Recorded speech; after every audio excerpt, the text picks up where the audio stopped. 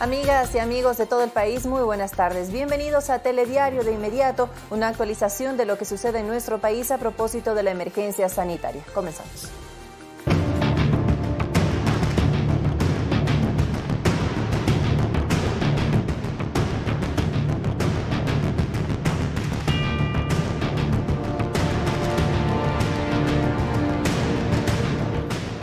Ministra de Gobierno María Paula Romo dio a conocer las últimas cifras de casos de COVID-19 en Ecuador. Explicó el mecanismo de la semaforización que empezará a funcionar y el funcionamiento también de las pruebas rápidas en la ciudad de Guayaquil. La ministra de Gobierno dio las cifras de las personas contagiadas de COVID-19 en Ecuador.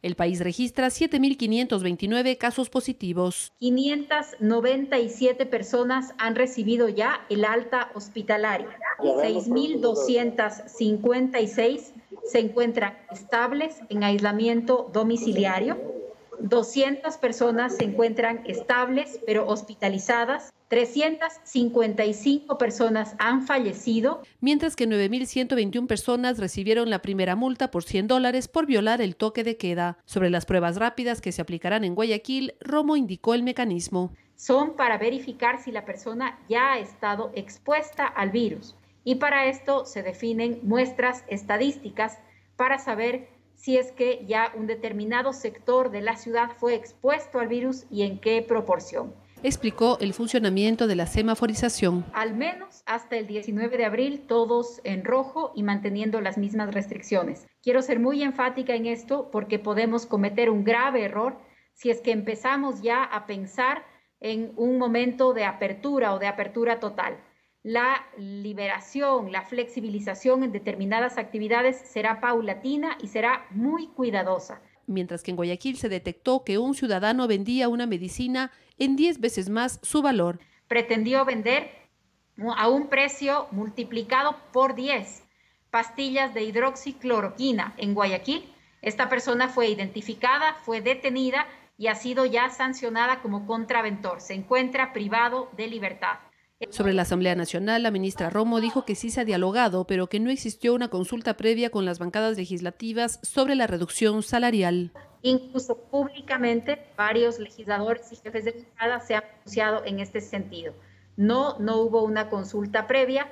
Esta fue una decisión del presidente de dar un ejemplo desde el Ejecutivo y ojalá también hacer un llamado para que los otros poderes tengan esta, esta misma lógica para enfrentar un momento tan difícil para el país. Verónica Rivadeneira, Medios Públicos. Y le contamos también que se prevé que esta semana lleguen a Ecuador un millón y medio de pruebas para detectar el coronavirus. Así lo informó el ministro de Salud, Juan Carlos Ceballos.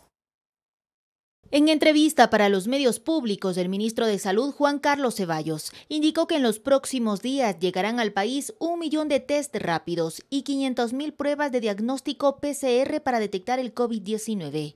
Una valora es que hay virus y la otra es que la persona ya creó defensas. Eh, entiendo que llegan entre el día martes y miércoles de esta semana. Explicó que actualmente en el país hay 21 laboratorios, entre privados y del Instituto Nacional de Investigación en Salud Pública, INSPI, que efectúan las pruebas para detectar el coronavirus y de esta manera solventar la acumulación que existe en la entrega de resultados. En el PCR eh, dura entre 4 y 6 horas la manipulación de cada una de estas pruebas. Entonces, si yo tengo cerca de 25 mil pruebas hechas, hay un retraso de cerca de 9 mil pruebas de este momento. En este contexto informó que se prevé sumar el apoyo de las universidades, pues están calificando sus laboratorios para efectuar las pruebas. Basta que ellos demuestren que están que tienen las prendas de protección y que se comprometen a reportar los casos y ya está. Además, detalló que en el sistema público existen 68 mil personas trabajando y ante esta emergencia sanitaria se crearon 769 plazas. ¿Cuántos ya se han hecho las contrataciones? Alrededor de 400, si es que usted suma los primeros 120, después de ahí los 150 y ahora se van a incrementar estas 40 más. El ministro advirtió que las casas de salud están en la obligación de atender casos de enfermedades urgentes que no tengan que ver con este virus. De que el paciente acuda al centro de salud más cercano y en cada uno de estos centros de salud hay los sitios de selección o triaje que se llama que están separados en sitios diferentes del hospital Ahí se hace la primera evaluación y de acuerdo a lo que el médico, el criterio médico, se le transfiere a otro hospital. De no ser derivados a otra casa de salud, sea pública o privada, los usuarios pueden denunciar. Al Ministerio de Salud Pública directamente, llamen al 911. Manifestó que existe un equipo de la Organización Panamericana de la Salud que trabaja conjuntamente con el Ministerio, brindando asesoría técnica. Olga Velasco, Medios Públicos. Atención a lo siguiente, desde este lunes 13 de abril rige en todo el país la modalidad del semáforo para controlar la expansión del COVID-19. En esta semana todo el Ecuador se encuentra bajo el color rojo, es decir, con restricción de la circulación. Una semana más de confinamiento y Ecuador comenzó una nueva modalidad de control para evitar que el COVID-19 siga indiscriminadamente con su contagio. Se trata de la semaforización. ¿En qué consiste? Es una modalidad donde se establecen tres colores, el rojo, el naranja y el verde. Cada color determinará las limitaciones o libertades de movilidad para los ciudadanos. Dichos parámetros los establecerá el Ministerio de Salud y el COE Nacional sobre la base del número de contagios y la respuesta que se tenga para atender dichos casos. Es por ello que desde este lunes 13 de abril hasta el 20 del mismo mes, todo el país estará bajo el color rojo, Así lo detalló la ministra de Gobierno, María Paula Romo. La postergación de actividades por una semana más a nivel nacional, las prohibiciones se mantienen como las tenemos hasta ahora, todas las zonas empiezan en rojo y a partir de los próximos días vamos a explicar cuáles son las implicaciones cuando una zona pueda pasar a naranja, si es que así sucede para la semana siguiente. Al finalizar este periodo, las autoridades evaluarán en qué provincias del país hay cambios de color esto no significa que se volverá a la misma rutina que se tenía en meses anteriores, explicó la ministra de Gobierno. Después de que cambien los colores del semáforo para cada zona, para cada cantón o para determinados lugares, no significa que vamos a volver a la situación que teníamos en enero. Habrá una nueva normalidad luego del COVID. Habrán nuevas reglas para el trabajo, para la movilización. Recuerde entonces, en esta semana continúa la medida de suspensión de las actividades laborales presenciales al igual que la libre movilización por las calles de la ciudad y carreteras del país. El horario de los toques de queda se mantiene y de la misma manera la restricción de circulación vehicular sobre la base del último número de la placa de su auto. Javier Ceballos, Medios Públicos. Adaptarse, reinventarse y generar nuevas estrategias es lo que representantes del sector turístico proponen para la reactivación. Desde ya toman acciones para enfrentar los nuevos desafíos. Cierre de fronteras, toques de queda, restricciones de movilidad y problemas económicos son los estragos que deja el coronavirus a su paso por el mundo. Situación que también ha afectado al turismo, pues no hay visitantes. Sin embargo, sus representantes buscan adaptarse, pues entienden que la industria ha cambiado, hay que reinventarse y deben atender las necesidades del turista post-COVID. Diseñar circuitos cercanos es una, es una factibilidad, es, es, un proyecto, es algo viable para así motivar al turismo interno a movilizarse. Para llevar esto a cabo consideran que es necesaria la asociatividad de los diferentes actores de la cadena turística para generar nuevas empresas, nuevos consorcios, pues el turismo interno, aseguran, será la clave para la reactivación. Dejar de vernos los municipios como competencia, sino complementarnos en ese sentido para poder generar destinos y productos turísticos de mayor estadía. Para el viceministro de Turismo es necesario también observar las nuevas tendencias que se han generado, como las entregas a domicilio, y aprovecharlas. Una de cada tres personas dejarán de ir a tiendas, dejarán de ir a restaurantes, dejarán de ir a supermercados. Esto nos está llevando a que la industria de alimentos y bebidas, la industria de alojamiento, tenga que reinventarse. Otra necesidad que buscará satisfacer el turista post-COVID será la higiene y salubridad en el destino que visite. Velar por higiene y velar por seguridad. Entonces, una oferta de higiene real de nuestros destinos. A la par, el Ministerio de Turismo emprende la campaña Descubre Ecuador desde casa, para que la ciudadanía pueda disfrutar de los paisajes que ofrece el país y más adelante puedan volver a visitarlos. Por ahora, comparte con tu familia y quédate en casa. Luis Alfredo Zúñiga, Medios Públicos. 13 horas con 9 minutos. En este momento vamos a hacer contacto vía telefónica con Vinicio Troncoso. Él es gerente del Banco del Instituto Ecuatoriano de Seguridad Social para conocer cuáles han sido las estrategias y también las medidas que ha adoptado esta entidad financiera para ayudar a los afiliados y a los jubilados en nuestro país en esta emergencia sanitaria. Ingeniero, muy buenos días. Sí, buenas tardes con la audiencia. ¿Cómo está? Bueno, entiendo que hay algunas líneas puntuales que ha tomado la entidad que usted dirige, sobre todo para ayudar a los afiliados y a los jubilados. Eh, ¿Podría comentarnos eh, cuáles son estas y cuáles eh, están a disposición ya de la ciudadanía? Sí, así es. el primer reto que tomamos inmediatamente que se dio la emergencia sanitaria por COVID fue el fortalecimiento de la atención de clientes a través de los canales virtuales. Esto nos ha dado una posibilidad de atender a los clientes los siete días de la semana, de lunes a viernes, a través de la línea 1800 BIE 7 y hemos habilitado 35 líneas adicionales de a través de esa línea para poder atender al afiliado y que éste no se esté desplazando directamente a las distintas sucursales del BIES de tal forma que no genere no solamente la incomodidad, sino que nos protejamos todo de, en cuanto a la salud al respecto de esta crisis. Es así que a través de esos medios estamos atendiendo eh, consultas como créditos quirografarios pendientes de aprobación, suspendidos, el número de cuenta para acreditar, el desbloqueo de las claves y ya estamos atendiendo más de 1.500 personas diarias a través de este medio o este mecanismo. Luego de eso nos, nos hemos enfocado también en extender beneficios a los afiliados que les permita de alguna manera paliar eh, eh, la crisis a través de un préstamo que genere liquidez inmediata. Hemos puesto a disposición de los afiliados un crédito quirografario emergente. Ese es un crédito quirografario que tiene una tasa de interés reducida del 6.5% y se presta a 3, 6 y 9 meses. es importante señalar que la particularidad de ese crédito es que tiene tres meses de periodo de gracia. Por lo tanto, si yo pido el crédito a seis meses, me otorga las tres primeras cuotas de gracia de capital interés, no las pago para empezar a pagar desde el cuarto mes durante los seis meses que me comprometí.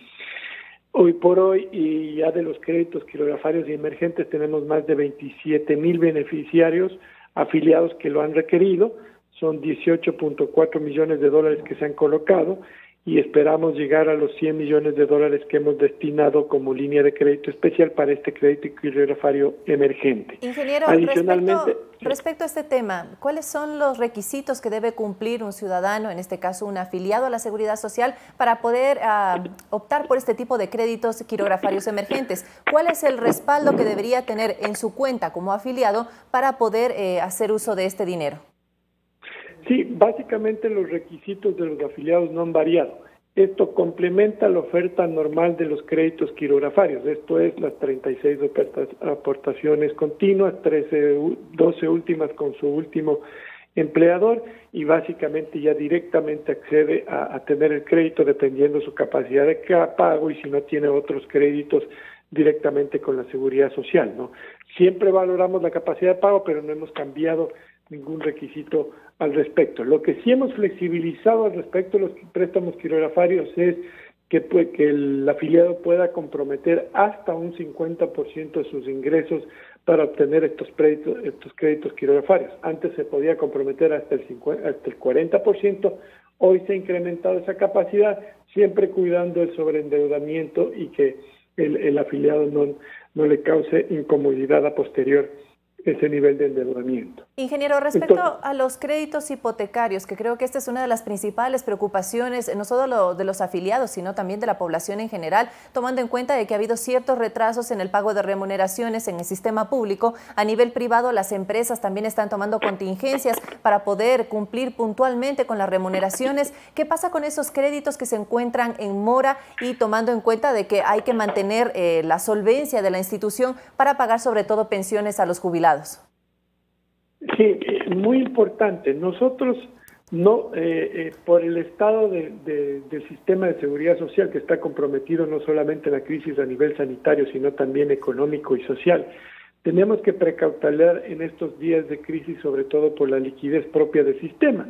Y la liquidez propia del sistema se ha priorizado el cumplimiento del pago puntual todos los 20 a los más de 500 mil afiliados jubilados y adicionalmente cumplir con los ingentes requerimientos eh, eh, operativos que tiene el, sistema de salud de la seguridad social. Esas son las dos prioridades. Entonces, lo que hemos dispuesto eh, para aquellos afiliados que tienen sus créditos en mora o que ya definitivamente su condición de empleabilidad ha cambiado porque tuvieron que salirse antes o han renegociado alguna posición económica o, su salario con los empleadores, es que les estamos brindando soluciones de pago. Esas soluciones de pago uno las, las adquiere o, puede solicitarlas a través de bies.fin.es. El bies básicamente es un banco en línea y esas soluciones de pago se pueden llegar a acordar hasta 30 años plazo. Extendiendo el plazo se reduce la cuota el interés es el interés original del crédito y también podemos acordar un periodo de gracia de hasta 18 meses. Ingeniero, hay que entender, sí. ¿Se modifica toda, toda la tabla de amortización o simplemente las cuotas que están impagas? Esto para que quede bastante claro para la gente que tiene en este momento un crédito hipotecario con la institución.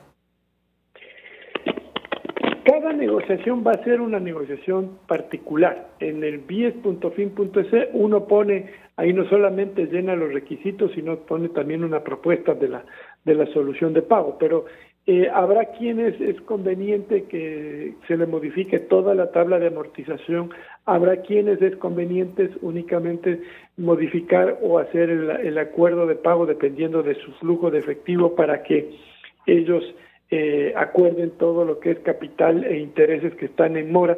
Entonces, hay situaciones eh, eh, particulares, pero yo diría que en la gran mayoría, pues, estas soluciones de pago se van a adaptar hacia todo el capital e interés que se ha generado eh, durante los años y que están en mora o que ya están comprometidos que no se pueden pagar. Hoy por hoy estimamos que tenemos más de 25 mil afiliados en esta, en esta condición que pueden acceder ya a, a estas soluciones de pago a través de nuestra página web y que terminará siendo implementada inmediatamente salgamos eh, del aislamiento social, eh, ya con la operatividad de otras funciones como son las notarías o el registro de la propiedad, ya que estaremos firmando un nuevo mutuo hipotecario que implica una nueva tabla de amortización. Ingeniero, ¿qué pasa con aquellos trámites que se encontraban en curso antes de la emergencia sanitaria? Aquellas personas que iniciaron estos trámites para adquirir un crédito hipotecario, eh, se está hablando de una simplificación de trámites, se detiene el trámite, se pone un poquito en pausa, eh, tomando en cuenta que también que los funcionarios del BIES se encuentran teletrabajando en estos momentos. Sí, eh, nosotros seguimos operando hasta cierto punto con normalidad ya que también dependemos de otras instituciones del Estado o privadas para poder conquistar estos trámites. Pero para aquellos afiliados que ya ingresaron sus trámites hipotecarios con anterioridad al 16 de, marzo, todos los documentos ingresados que, que, puso el afiliado eh, no tendrán tiempo de caducidad. Entonces, lo que hemos hecho es suspender los tiempos de caducidad. Si antes un certificado del registro de, de la propiedad tenía una valía de cierto tiempo, o un certificado notarial tiene una validez de cierto tiempo, hoy por hoy están suspendidos, lo que significa que cuando retomemos esa actividad normal y esos servicios ya estén operativos, podremos directamente eh, operativizar la operación sin volver a hacer y sin volver a tramitar esos documentos que ya se los hicieron con anterioridad. Eh, ingeniero, también entiendo que hay una inversión que está haciendo el Banco del Instituto Ecuatoriano de Seguridad Social con la Corporación Financiera Nacional para hacer este empuje también al sector empresarial a través de estos créditos ágiles. Cuéntenos un poco más cuál ha sido el acercamiento con esta institución y cuál es el monto que está destinando el BIES eh, para reactivación de la economía.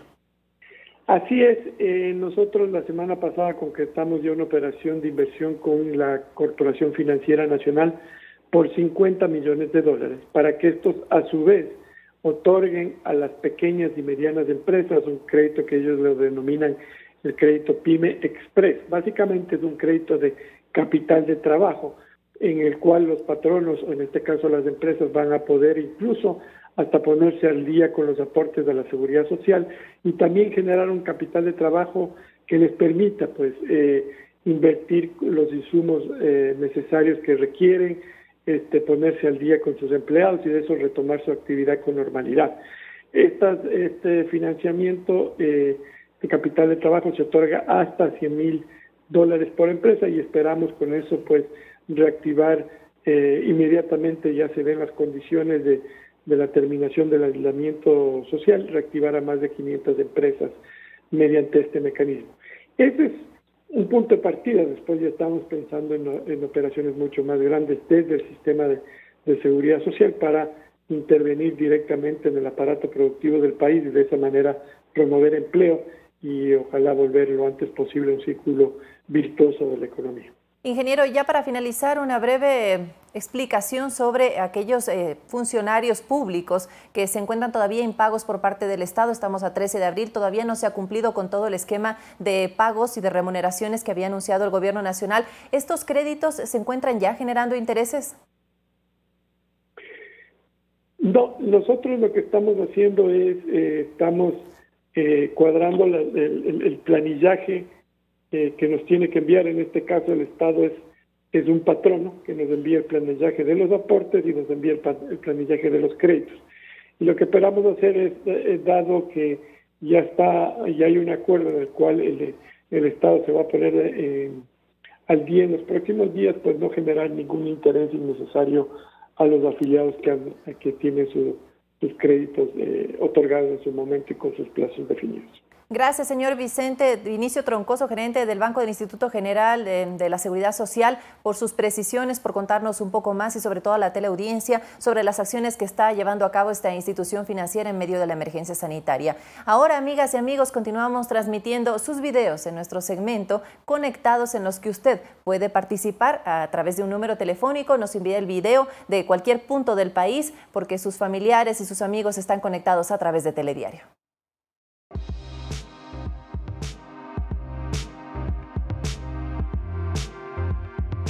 Buenas tardes, nosotras somos Gemma Lor y Gabriela Lor. Somos del Carmen Manaví, llevamos 20 años viviendo en Madrid y nos dirigimos a toda nuestra gente linda de Ecuador. Queríamos hablar un poco de la situación, de que nos cuesta mucho estar en casa encerrados, pero es lo mejor que podemos hacer. No queremos que el virus se extienda más y estamos más seguros en casa. Queremos que ayudéis y ayudar nosotros a los sanitarios para que esto no se propague más, que están haciendo un trabajo increíble y sin perder la fe, que la fe nunca hay que perderla, que esto pasará muy pronto. Así que si nosotros nos quedamos en casa, tú, también, quédate en casa. Hola, soy Valentina. Eh, quiero mandar saludos a toda mi familia y a las personas que pese a este momento difícil situación están pasando. Eh, mi admiración y fuerza para todos ustedes y no te olvides quédate en casa. Por nuestros abuelos, por nuestros padres, por nuestros hermanos, por la humanidad. Juntos combatiremos el COVID-19. Por, ti, por ti, resistiremos. Quédate en casa. Somos ecuatorianos. Estamos varados en la ciudad de Buenos Aires, en la Argentina, desde el 16 de marzo. Hola, soy Rebeca. Hola, soy Agustín. Somos quiteños. En esta guerra no la gana ella. No la gana ella. La ganamos todos. Quédate en, casa. Ecuatorianos, lávense las manos, coman saludable, hagan ejercicio, porque queremos volver a ver a nuestros familiares y a nuestros amigos. Porque juntos sí podemos. Quédate en casa, tabacundeñas de corazón.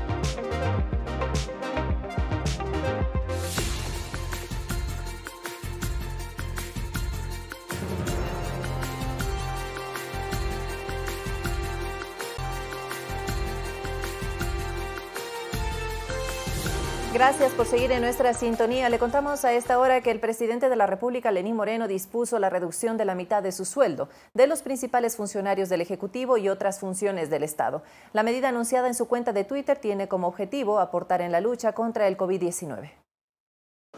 La frase de que a Ecuador lo sacamos todos se predica con el ejemplo. Es por ello que el presidente de la República, Lenín Moreno, anunció cómo aportarán las autoridades para enfrentar esta emergencia sanitaria. En su cuenta personal de Twitter, el jefe de Estado publicó. He dispuesto a reducir el 50% del ingreso mensual a presidente, vicepresidente, ministros y viceministros. De la misma manera, lo harán todas las funciones del Estado, gobiernos seccionales, en especial Asamblea Nacional. Una medida acordada y respaldada en el gabinete del presidente Moreno. Así lo afirmó Jorge Guated, quien durante esta emergencia está a cargo de la Fuerza de Tarea Conjunta. Yo creo que es adecuado eh, de que nosotros también como funcionarios públicos aportemos en un momento tan difícil, en una situación económica tan difícil, y eso no tiene por qué paralizar o disminuir el nivel de responsabilidad y trabajo que se nos encomendó. Yo creo que el sector público tiene que aportar, yo creo que las diferentes, instituciones del Estado eh, tienen que aportar y estamos eh, totalmente dispuestos a asumir eh, aquello como una medida de apoyo sobre todo a los más pobres. La disposición del presidente fue conocida este domingo y con lo cual se suman de manera directa este apoyo que busca sacar adelante al Ecuador. Alec Llanos, Medios Públicos. Y luego del anuncio presidencial, varios asambleístas se pronunciaron sobre la disposición del jefe de Estado. Ahora los legisladores son el centro de atención del escenario en el que se desarrolla la emergencia sanitaria en el Ecuador por el COVID-19, pues la pelota para contribuir a la crisis que vive el país está en su cancha. Nos intentamos contactar con el presidente de la Asamblea Nacional, César Litardo, para conocer su reacción sobre el planteamiento del Ejecutivo de reducir el sueldo en un 50% de los sueldos de los asambleístas. Sin embargo, su teléfono se encontraba apagado. Distinta suerte corrimos con otros legisladores como Eliseo Azuero del bloque de acción Democrática Badi, quien manifiesta estar de acuerdo con el planteamiento por un tiempo establecido. Sin embargo, recomienda al Ejecutivo canalizar el mismo a través de un proyecto económico urgente. Para poder cumplir con lo que dispone el artículo 164 y 165 de la Constitución. Esto es, de que no quede a la discrecionalidad de las altas autoridades de cada una de las funciones, sino que de manera obligatoria en un cuerpo de ley pueda exigirse el cumplimiento de esta iniciativa. El asambleísta Raúl Tello del Bloque Integración Nacional también se encuentra a favor de la iniciativa del Ejecutivo y señala que es importante que el gobierno garantice que estos recursos lleguen a las personas más vulnerables y no se pierdan en los caminos de la corrupción. Y es el hecho de valorar el verdadero trabajo de enfermeras, el verdadero trabajo de paramédicos, el verdadero trabajo de los médicos, que sirva para valorar el trabajo de quienes limpian las calles, que sirva para valorar el trabajo de ellos a través de un reconocimiento económico en sus salarios. El legislador Héctor Yepes, de Creo, no se quiso quedar atrás y mediante este video hizo hincapié en la necesidad de que dichos recursos no se vayan por el saco roto de la corrupción y añade que la reducción no solamente debe ir encaminado al tema del salario. Y también apoyo que bajemos el número de asambleístas con un cambio a la constitución, eliminando concretamente 15 asambleístas nacionales que se inventaron en la constitución del 2008 y también reduciendo el número de asambleístas por provincia en el país para todos arrimar el hombro. Mientras el asambleísta Fernando Callejas, también de Creo, espera que el planteamiento del Ejecutivo llegue a manera de ley económica urgente a la Asamblea Nacional para que la reducción del sueldo a funcionarios y legisladores sea obligatoria el país no soluciona su gravísimo problema con, con dádivas. Está bien, pues esta dádiva o este aporte del sueldo del asambleísta por una sola vez para solucionar algún problema emergente, pero el problema del país que es de una magnitud enorme no. Juan Carlos Figueroa, Medios Públicos. Internet, redes sociales, mensajes de texto y medios de comunicación tradicionales serán las herramientas que se usarán para el inicio de clases en el régimen Costa que está planificado para el próximo 4 de mayo. El lunes 4 de mayo inician las clases en el régimen Costa. Sin embargo, no será de manera presencial. Se lo realizará a través del Internet para mantenerse en casa. Todos los procesos como matrículas, traslados, eh, todo está hecho para que se lo haga en línea. Y, y los docentes saben y las unidades educativas saben que no pueden pedir ningún tipo de deber o ningún tipo de requisito que implique ni un costo extra ni salir de casa. Los estudiantes realizarán unas primeras dos semanas de repaso con sus docentes. Aquellos estudiantes que no tienen internet tendrán otras plataformas para acceder al sistema educativo. Eh, televisión, radio, SMS, eh, WhatsApp, teléfono normal eh, y bueno, todos los recursos que necesitamos, inclusive el COE, imprime las guías, las fichas de trabajo y las eh, entrega en los sectores rurales donde no hay internet. Padres de familia que tienen a sus hijos en unidades educativas particulares han pedido que el valor de las pensiones bajen, pues mientras se lo haga de manera virtual, no se usarán algunos servicios ni las instalaciones de los colegios. Al respecto, se pronunció la ministra. Es importante tanto que las instituciones educativas se pongan en contacto con las familias, identifiquen realmente sus necesidades y lleguen a soluciones, como que aquellas familias que todavía pueden seguir pagando las pensiones, porque afortunadamente tenemos diferentes niveles de afectación, lo hagamos en pro de, y apoyo del resto de familias que no lo pueden hacer. Los exámenes remediales serán del 20 al 22 de abril de manera virtual y los resultados se publicarán el 23, mientras que los exámenes de gracia se realizarán el 29 de abril. Además, se retomará la fase de traslados que se vio interrumpida por la emergencia sanitaria. Pero dependiendo de la disponibilidad, en el 4 de mayo se reiniciarán los traslados y usted podrá poner a su hijo en una institución educativa. Los docentes se pondrán en contacto con los padres de familia vía WhatsApp previo al inicio de clases lo haremos ya a partir del día 13. Es decir, que entre el 13 y el 4 de mayo estaremos ya eh, comunicándonos con las familias. Además, se reprogramó la entrega de la alimentación escolar eh, con la finalidad de coordinar, articular y sumar esfuerzos de la comunidad educativa y la sociedad civil. Luis Alfredo Zúñiga, Medios Públicos. La ministra de Educación, Montserrat Kramer, agradeció a los docentes del país por su profesionalismo, dedicación y solidaridad. En su cuenta de Twitter, Kramer se refirió al Día del Maestro y señaló que a través de la educación se transforman vidas y durante la emergencia cada hogar cuenta con la compañía de un maestro o maestra. Y los ecuatorianos de distintas provincias a través de nuestras redes sociales nos hicieron llegar algunos saludos para los maestros de nuestro país. Feliz día, profes. Gracias por su trabajo desde sus casas. Feliz Día del Maestro. Gracias por sus enseñanzas y por su paciencia. ¿Cómo están? Mi nombre es Nicolás. Espero que estén súper bien. Yo estoy en mi casa, igual que mis demás amigos. Los queremos desde aquí. Les felicitamos por su gran día. Espero que la pasen re bien. Feliz día a todos los profes del Ecuador. Por favor, quédense en casa. Este día muy especial quiero mandar un saludo a todos los maestros a nivel nacional. Les quiero mandar un saludo a todos los profes, espero que les estén pasando súper genial en su día y no se olviden de no salir de casa. Y hoy vamos a desearles un feliz día a todos los maestros del Ecuador. Feliz día de maestro, gracias por su trabajo. Feliz día a todos los maestros del país y también a los míos. Gracias por ser la guía junto a nuestros padres.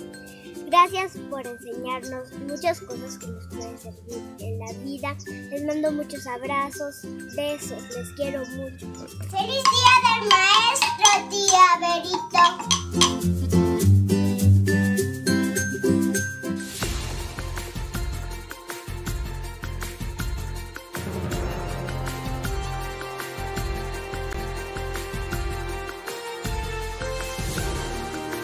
Continuamos, militares y policías llegaron desde otros repartos para brindar sus servicios en Guayaquil y otros cantones del Guayas con mayor riesgo de contagio. La misión es fortalecer las labores de la fuerza de tarea conjunta en esa provincia. 180 militares y 50 policías arribaron a la base aérea Simón Bolívar de Guayaquil en un avión Boeing 737 y un avión Casa 295, pertenecientes a la Fuerza Aérea Ecuatoriana. Los agentes del orden forman parte del primer grupo que llega al puerto principal para reforzar los controles y restricción de la movilidad. Estos son dos primeros vuelos de cuatro programados en uh, los aviones Boeing 737-200, los aviones CASA, eh, con el objetivo de reforzar el personal eh, militar especialmente que está acá en la Fuerza de Tarea Conjunta Guayas, en la jurisdicción de la provincia de Guayas, para que Fuerzas Armadas pues, y las otras instituciones del Estado estemos en óptimas condiciones de seguir apoyando esta emergencia sanitaria. Los militares forman parte de la Escuela de Formación de Soldados Vencedores del CENEPA de Ambato y de la Brigada de Selva número 17 Pastaza, acantonada en la parroquia Shell y se embarcaron en el aeropuerto de La Tacunga. Tienen ya dentro de su planificación operativa, tienen a sus áreas de responsabilidad las tareas asignadas a cada unidad operacional, a cada grupo operacional, cada equipo eh, que tiene pues ya dentro de su personal con tareas específicas en un sector, en un sector específico. Este primer contingente militar servirá en los cantones de Isidro Ayora, Lomas de Sargentillo, Novol, Palestina, Balsar, El Empalme, Salitre, Santa Lucía y Colimes, donde van a realizar controles para que la ciudadanía use mascarillas, mantenga el debido distanciamiento social para evitar focos de contagios con las aglomeraciones y así evitar que la pandemia del COVID-19 se extienda. Mariuxi Buenaño, Medios Públicos. Y le contamos que nuestro compañero Juan Carlos Figueroa se encuentra en el sector de la lucha de los pobres en el sur de Quito, donde varias viviendas fueron seriamente afectadas por el desbordamiento del río Machángara, producto de las fuertes lluvias registradas la tarde de este domingo. Juan Carlos, buenos días, cuéntanos cuál es la situación a esta hora. Amigos, amigos, tengan ustedes una excelente tarde. Nos encontramos precisamente ubicados en el sector de la lucha de los pobres aquí en el sur de Quito, lugar donde el día de ayer varias eh, viviendas fueron afectadas por el desbordamiento de uno de los ríos que cruza por este sector, debido precisamente a las eh, fuertes lluvias que cayeron la tarde de este domingo. Para eh, conocer las acciones que se están realizando por parte del municipio, nos encontramos en este momento con Francisco Ruiz, quien es director de gestión de riesgos del municipio de Quito. Francisco, cuéntanos un poco la situación que se está viviendo aquí y las acciones puntualmente que se están realizando para recuperar y ayudar a las personas en este lugar. Francisco. Sí, eh, de parte de la Secretaría de Seguridad del municipio y las demás entidades metropolitanas nos hemos movilizado desde el día de ayer para hacer eh, o brindar justamente la ayuda a los moradores de los barrios que están a lo largo de la quebrada denominada Caupicho, en donde por eh, una lluvia extraordinaria el día de ayer en la noche eh, vieron afectadas eh, sus viviendas por la crecida del río. Hay eh, decenas de viviendas que están y familias que se han visto afectadas. Se han realizado ya el levantamiento de algunas de las necesidades y también de algunas acciones emergentes, como es el caso del retiro de un contenedor que fue arrastrado por la lluvia y también de prestar ayuda humanitaria a los damnificados. Lo importante en este momento es eh, salvaguardar la vida eh, de las personas que fueron afectadas, ¿no? Están pidiendo ayuda a las autoridades. Sí, esa información ha, sido identificada. Vamos a esperar que en el transcurso de la tarde también se les pueda dar una solución momentánea para que podamos atender y que la gente encuentre seguridad. Al menos. Que todo porque esto fue un problema que suma la situación de la pandemia, ¿no? Eso es algo que debemos tomar en cuenta y hacer un llamado a la población para que no deje de tener presente que tenemos que mantener las medidas de seguridad para afrontar la emergencia sanitaria. Perfecto, esta fue la explicación del director de gestión de riesgos, quien nos ha dado indicaciones precisamente de las acciones que está eh, realizando el municipio de Quito para ayudar a las personas que fueron afectadas por el desbordamiento del río. Nosotros en las siguientes emisiones eh, ampliaremos el detalle sobre las acciones que está eh, tomando el municipio de Quito para ayudar a las personas afectadas. Nosotros mientras tanto regresamos de estudios con más noticias. Muy buenas tardes. Gracias, Juan Carlos. Buenas tardes. Seguimos con más información también relacionada a la emergencia sanitaria en la capital. El Comité de Operaciones de Emergencias de Quito informó nuevas disposiciones para los mercados aquí. De esta manera se suspende la venta en los centros de abasto de La Magdalena y La Carolina. En cambio, solamente al por mayor se venderá en los mercados de San Roque, que atenderá de manera exclusiva a distribuidores y comerciantes que ingresarán con camioneta o camión. Sin embargo, atención ciudadanos, existen 12 mercados que están habilitados, el de Carcelén, Andalucía, Centro de Comercio y Comité del Pueblo en el norte, América, Santa Clara y San Francisco en el centro, además de Chirillacu, Solanda, Mena 2, Caupicho, Ciudadela y Barra, esto en el sur de la ciudad, además del mercado Conocoto en el sector de los valles. Y los ciudadanos reconocen la labor de la Policía Nacional en estos momentos de crisis sanitaria por la presencia del coronavirus. En el barrio de La Gasca, en el norte de Quito, los moradores aplaudieron el accionar de la institución con carteles con leyendas como Gracias UPC, Gracias Policía, donde homenajearon a las fuerzas del orden que trabajan para controlar las disposiciones en el toque de queda.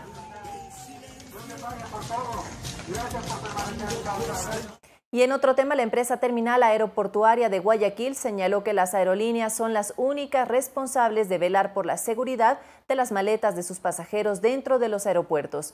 Esto ante la denuncia de varios ciudadanos que se encontraron varados en Miami, en Estados Unidos, y que llegaron el fin de semana a Guayaquil en un vuelo humanitario.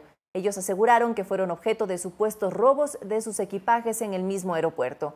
Ante eso, Taxa entregó todas las grabaciones de las cámaras de seguridad para aclarar el suceso. La Dirección de Aviación Civil, que se encarga de los protocolos y obligaciones de seguridad, se encuentra verificando este hecho. La limpieza de los espacios que manipulamos en el vehículo es muy importante para evitar la propagación del COVID-19. Durante la cuarentena es necesario tener cuidados especiales con los autos para que no se afecten sus sistemas ahora que su uso es mucho menor. Las medidas de restricción para evitar la propagación del COVID-19 ha cambiado la cotidianidad de nuestros desplazamientos. Actualmente los vehículos pueden ser utilizados una sola vez por semana, principalmente para comprar alimentos. Cuando lo haga, tanto al iniciar como al culminar su uso, no se olvide de desinfectar los aditamentos que manipulamos. Principalmente las manijas externas de la apertura de las puertas, los botones de abrir y cerrar los vidrios, el volante, como les decía, las perillas del aire acondicionado y del, radio. Todo esto debe ser desinfectado y tenemos que utilizar básicamente una solución de agua con jabón. También hay personas que han cumplido a rajatabla la disposición y no han movido sus automotores.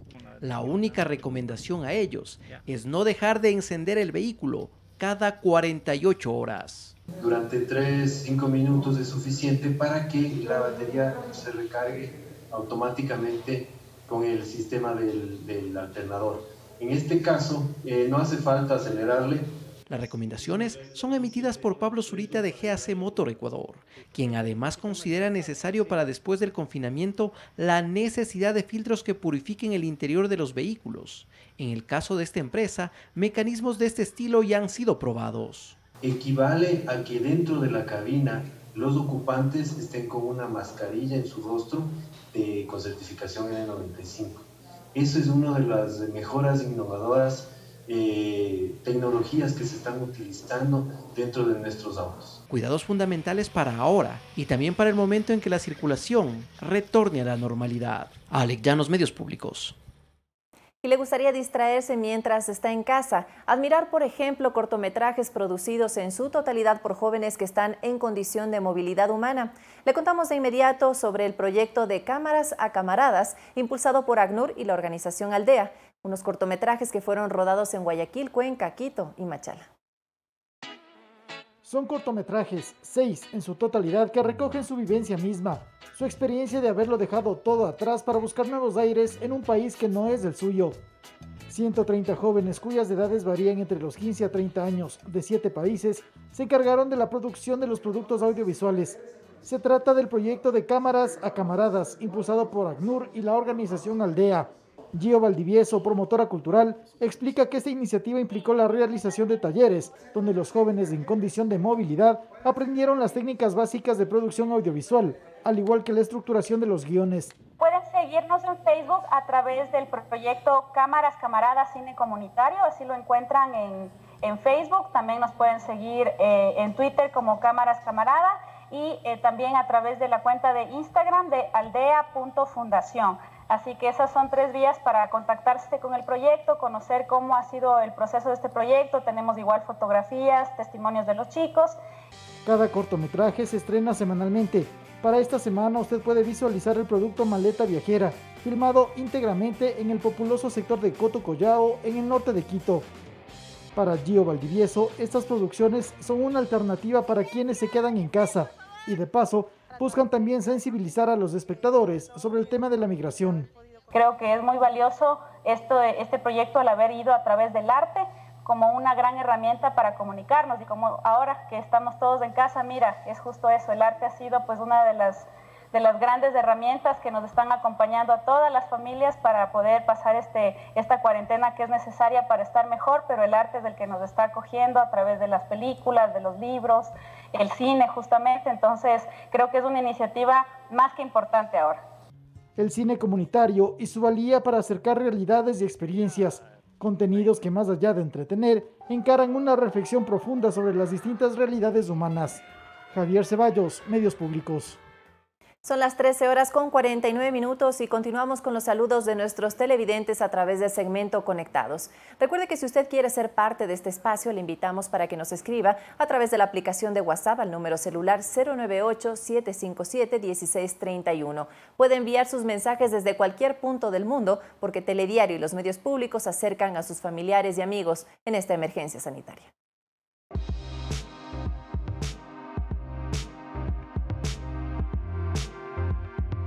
Hola, soy Samuel y quiero mandar un saludo a todas las personas pese a la situación siguen trabajando. Fuerza a todos ustedes. Ecuador de esta salimos juntos. Recuerda, quédate en casa.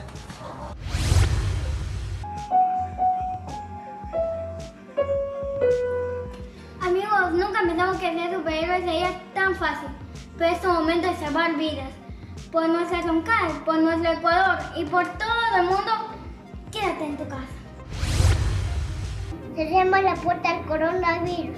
No salgamos a la calle. Es por ti, por mí, por nuestros abuelitos, por todo el Ecuador. Quédate en casa, por favor.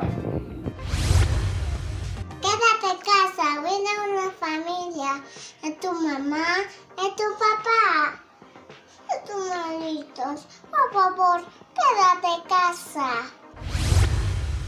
Hola, soy Robert Gutiérrez. Hola, soy César Torres. Somos dos jóvenes del Cantón Olmedo, provincia de Loja. Y queremos decirte algo. Yo me quedo en casa. Porque el quedarnos en casa es el esfuerzo que los médicos necesitan para vencer la pandemia. Y pronto la venceremos. Pero antes la naturaleza debe comprobar que somos disciplinados. Por eso, quédate en casa. Y después... Volveremos a juntarnos, volveremos a brindar. Un café queda pendiente en nuestro bar.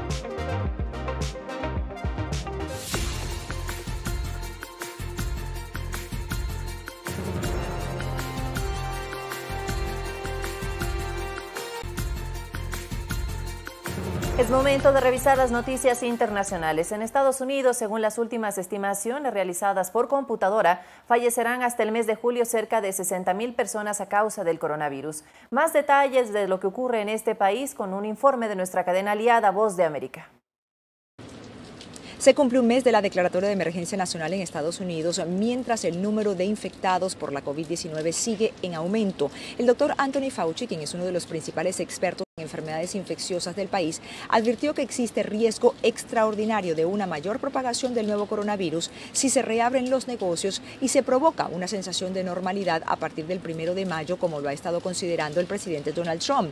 Por otro lado, el Banco Mundial insta a los gobiernos de América Latina a asumir la mayor parte de las pérdidas de los mercados financieros a raíz de esta crisis sanitaria del coronavirus. El organismo advierte sobre una caída brusca en la economía de la región y pide que se protejan a los más vulnerables y se conserven los puestos de trabajo. Para esto prepara un paquete de medidas de alivio que incluyen 160 mil millones de dólares en apoyo financiero durante los próximos 15 meses. En otros temas, tornados en Mississippi y Luisiana causaron daños catastróficos y al menos seis muertes. Las autoridades de emergencia dicen que cientos de estructuras resultaron dañadas por las tormentas durante el fin de semana. Y volviendo a la pandemia del nuevo coronavirus, las cifras indican que las muertes en Estados Unidos han superado las 22.000, más que cualquier otro país del mundo y además se confirman más de 550.000 infectados. Los modelos por computadora predicen que 60.000 personas o más pudieran fallecer hasta julio de este año debido a la COVID-19. Expertos afirman que el pico de la enfermedad pudiera vivirse en el país este mes de abril. Desde Washington, con la agenda informativa del día, soy Natalí Salas Guaitero, de La Voz de América. Continuamos como estaba previsto, 112 pasajeros australianos a bordo del crucero Greg Mortimer fueron evacuados de la embarcación y pidieron regresar a su país gracias a la ayuda del gobierno de Uruguay que autorizó su desembarco en el puerto de Montevideo. Con este desembarco, el gobierno de ese país cerró su corredor humanitario y no permitirá la llegada de más cruceros a su territorio. Cuatro autobuses escoltados por miembros de la Armada Uruguaya trasladaron la madrugada de este sábado al primer grupo de turistas evacuados del crucero de bandera australiana Gret Mortimer, procedente de Ushuaia, en Argentina, hacia el Aeropuerto Internacional de Carrasco, en la capital uruguaya, para abordar un avión con destino a la ciudad de Melbourne, en Australia. Fueron en total 112 turistas de esta nacionalidad los primeros en abandonar la embarcación, luego que el gobierno de Uruguay le permitió al crucero atracar en el puerto de Montevideo. Con esta operación, el país sudamericano cerró los corredores humanitarios que aún mantenía abiertos debido a que ya registra en su territorio 501 casos de contagio de COVID-19, por lo que declaró la emergencia sanitaria desde el 13 de marzo. En total, el crucero transportaba 217 personas a bordo y pudo desembarcar a los pasajeros que iban a ser repatriados el viernes pasado, luego de permanecer fondeado a 20 kilómetros de la costa de Uruguay a la espera de una autorización para poder atracar. La operación de desembarco se desarrolló en medio de estrictas medidas de bioseguridad la colaboración con las autoridades australianas fue muy, muy estrecha. Eh, y de hecho, junto con eh, la compañía de cruceros, que fue la que eh, finalmente despachó el avión médico desde Portugal, fue que pudimos este, armar toda esta operación. El resto de pasajeros, que son de otras nacionalidades, en total 105, deberán realizar cuarentena a bordo del Credit Mortimer, mientras se organiza el retorno a sus países de origen. Este fin de semana el barco se movilizó a hora y media de navegación del puerto de Montevideo para evitar una posible propagación de la enfermedad. Carlos Flores, Medios Públicos. En China se registró un incremento en las cifras de contagios importados en territorio continental, según información oficial. Los casos registrados este fin de semana provienen del extranjero. China registró un nuevo incremento en el número de contagios importados. 98 de los 108 nuevos casos positivos detectados durante el fin de semana son casos provenientes de otros países, una nueva cifra máxima que no se registraba desde el mes de marzo. Especialistas médicos chinos dieron recomendaciones que se deben tomar en cuenta para evitar la propagación del virus. Si alguien está infectado, todos los miembros de su familia deben realizarse las pruebas. Las personas que vienen de áreas epidémicas, sin importar si son extranjeros o chinos, deberían ser controladas. Y también deberían verificarse sus contactos cercanos. Podemos descubrir decenas de contactos cercanos, lo que llamamos casos asintomáticos, y ponerlos en cuarentena. Desde el pasado 28 de marzo, el gobierno de Pekín prohibió la entrada de ciudadanos extranjeros para evitar un rebrote de la enfermedad. Sin embargo, los casos no han disminuido. El pasado 12 de marzo, China declaró que el pico de contagios había llegado a su fin en su territorio. No obstante, ahora son los casos importados los que tienen la atención de las autoridades. Carlos Flores, Medios Públicos. Arabia Saudí y Rusia llegaron a un acuerdo para disminuir la producción de petróleo y con ello recuperar el valor del crudo en el mercado internacional que ha registrado un desplome debido a la pandemia del COVID-19. El pacto alcanzado por los miembros de la Organización de Países Productores de Petróleo, OPEP, fue en bajar un 23% la producción. México, que rechazó inicialmente reducir la producción en 400 mil barriles, ahora se sumó al Pacto Mundial. Estados Unidos absorbería las tres cuartas partes de la petición, reduciendo su producción a 250 mil barriles por día. Es así que se estima una reducción en la producción mundial de 10 millones de barriles diarios en mayo y junio ante el desplome de los precios. El presidente de Estados Unidos en su cuenta de Twitter felicitó eh, el acuerdo alcanzado y agradeció a los líderes, a los países comandantes de la Organización de Países Exportadores de Petróleo OPEP, al rey de Arabia Saudita, Salman bin Abud Laziz, y del grupo de los petroleros no alineados, el presidente ruso Vladimir Putin, por el que consideró un trato benéfico para todos. El Papa Francisco pidió este lunes que tras la pandemia que registra el mundo por la neumonía viral se piense en la gente y no solo en el dinero, esto a tiempo de solicitar que los fieles recen por quienes están diseñando las estrategias acciones que se adoptarán tras la pandemia. El sumo pontífice también rezó por las mujeres que permanecen en cuarentena y que corren riesgo por sufrir violencia doméstica.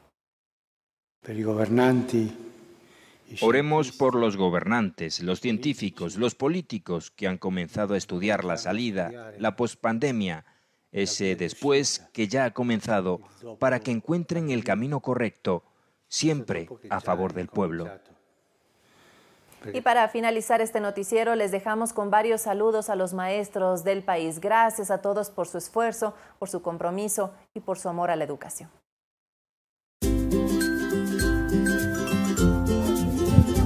Para los profesores, les envío un saludo a los profesores del Ecuador. Un saludo muy especial para todos los docentes de mi país, en especial para los que conformamos la gran familia.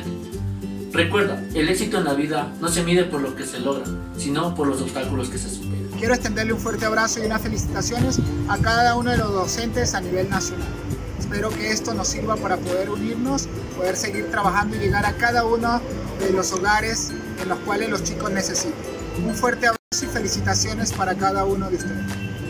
Eh, seguimos trabajando desde casa, seguimos planificando, seguimos siempre pensando en lo mejor de nuestros estudiantes.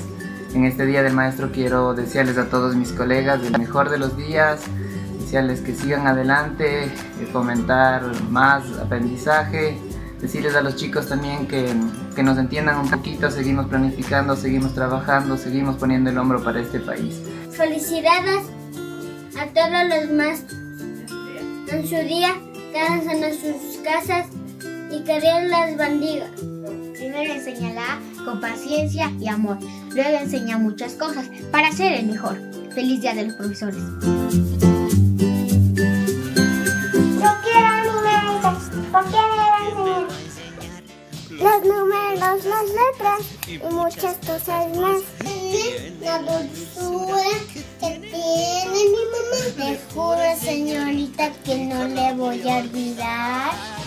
Mamá maestra, mamá maestra, mamá maestra. Estar contigo para mí es una fiesta.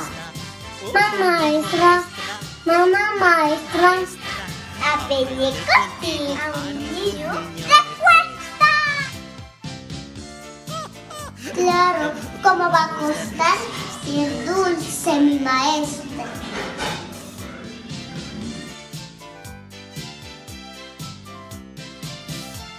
Sé que tú te enojas, ¡Ella!